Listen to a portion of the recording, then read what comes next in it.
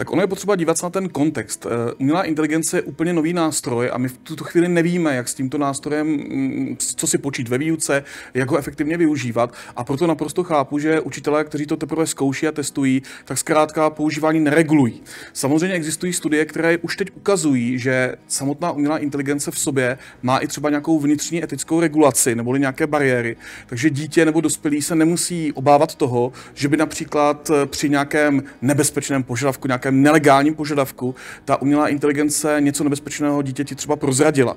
Takže v tuto chvíli můžeme říci, že v tomto je to bezpečné. Ale na druhou stranu je to příliš mladá technologie na to, aby prostě učitelé si zvykli to regulovat a efektivně nasazovat do výuky.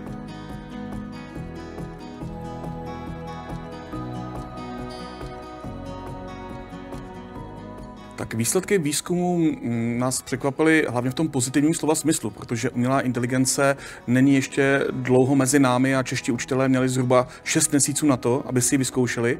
A z výsledku našeho šetření jednoznačně vyplývá, že minimálně třetina učitelů má nějakou zkušenost s tím, že si třeba vyzkoušeli ChatGPT nebo jiný nástroj generativní umělé inteligence.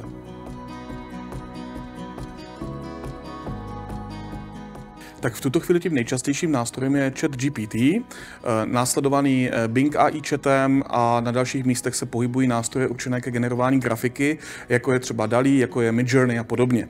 Eh, můžeme říct, že vlastně učitelé dominantně zkouší takové nástroje, které jsou zdarma, které jsou bezplatné, takže úplně nejvíc mezi učiteli se používá nástroj chat GPT ve verzi 3,5, což je verze, která vlastně je už z listopadu 2022 a v té době začala média masivně vlastně informovat o tom, že je tady nová technologie, kterou by si mohli lidé zkoušet, která promění školství, promění vzdělávací soustavu, takže logicky učitelé, kteří si četli tyhle zprávy, viděli je v médiích, eh, tak si tyto nástroje vyzkoušeli.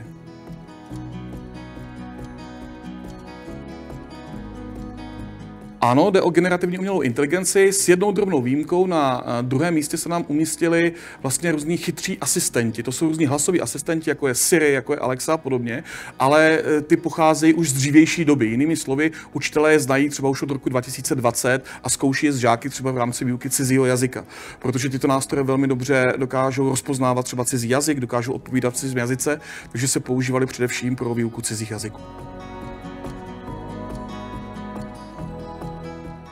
Tak ty obavy vlastně nějak souvisejí s vlastnostmi té umělé inteligence, protože umělá inteligence dokáže velmi dobře generovat nejrůznější typy textů.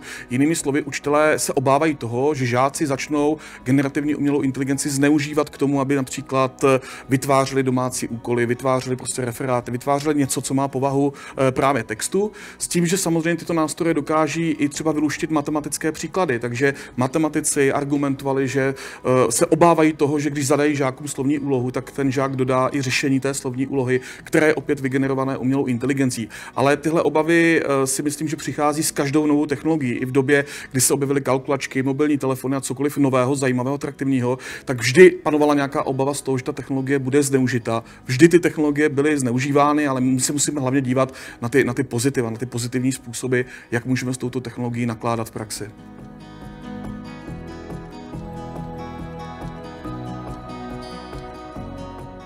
Tak poznat to někdy jde, někdy nejde. Záleží, jakým způsobem přímo tu umělou inteligenci žák eh, zneužije nebo využije. Eh, samozřejmě, pokud pouze nechá vygenerovat nějaký neutrální text, tak učitel to pozná, protože učitel zná, jakým způsobem žáci píší, zná, jakým způsobem třeba překládají z cizích jazyků, takže učitelé to prostě dokáží, dokáží poznat situaci, kdy si s tím ten žák nebude více hrát, nebude třeba upravovat to zadání tak, aby odpovídalo i té věkové kategorii jako žáka. Protože my umělou inteligenci můžeme klidně požádat o texty, které mají vypadat, jako by je vytvořilo třeba dítě, jako by je vytvořil student střední školy nebo, nebo žák základní školy. Takže skutečně záleží na, na konkrétní situaci. Na druhou stranu tyhle nástroje se dají ale použít i v rámci domácích úkolů naprosto pozitivně. My můžeme nechat žáky vygenerovat nějaký text a nechat je třeba vytvořit nějaké zhrnutí, vytvořit protiargumenty. Jo? Takže opravdu v tom generování není ten problém, ale, ale ty obavy u těch učitelů se zneužijí, samozřejmě panují.